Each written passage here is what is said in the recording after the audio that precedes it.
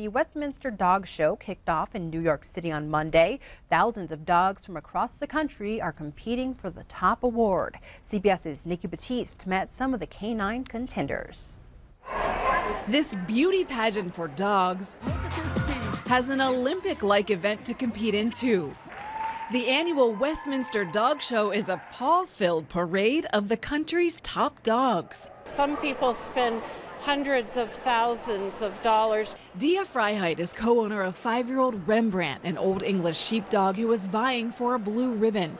His pre-show pampering will take six hours, but he doesn't seem to mind. I always tell people, you know, if I could lay on a table and have somebody groom me for hours and hours, I'd love, I'd be loving that too. So yeah. Good life, buddy. Yeah. yeah. Oh, look. 2,800 dogs are competing this year, separated into about 200 breed categories.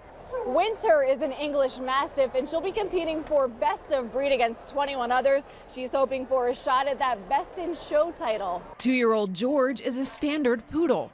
This is a continental cut. It takes about two and a half, three hours to get him ready before a show, so that's where we're at. His handler, Chelsea Paul, says he's making his show ring debut. Who gets more pampering, you or him? Oh, definitely him. It's pretty clear that most of these pups, win or lose, are pretty doggone happy. Nikki Battiste, CBS News, New York.